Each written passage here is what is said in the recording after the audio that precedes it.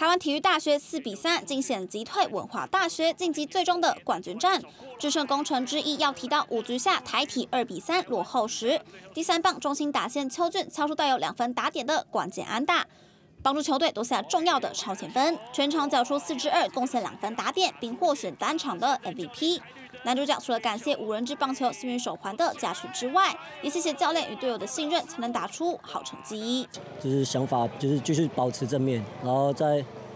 落后两分的时候，又把那两分打回来，就心情就释放一些。就是我也相信我的队友啊，然后相信我的队友啊、教练们，然后就是会把这一场比赛完整，然后我们去做我们自己球场上该做的一些工作就好了，然后去享受比赛。而且邱俊不止在决赛的第一场就表现精彩，本学年度的预赛以及复赛总计出赛十八场，敲出二十二支安打，交出四成一五的打击率，OPS 一点零二八，是帮助球队晋级的重要功臣。而且他不止在场上表现优秀，总教练林宗义更称赞他是球队重要的精神领袖。当然是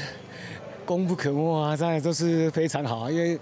他最近的的最重要会会把他放在第三棒，就是球队非常依赖的选手，而且尤其是内需要他去 lead 啊，他去 handle 很多整个场面这样子。对，冠军赛当然全力以赴啊，大家一步一步走啊，不要给自己太大压力或者给选手压力。哎，毕竟选选手他们。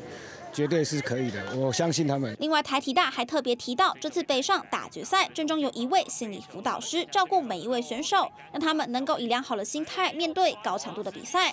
而这也是台体大团队气氛相当好的原因之一。从预赛到复赛都占据领头羊位置，一路气势凶猛的台体，也期待能够继续有精彩表现，冲击最终的总冠军。我来体育台采访报道。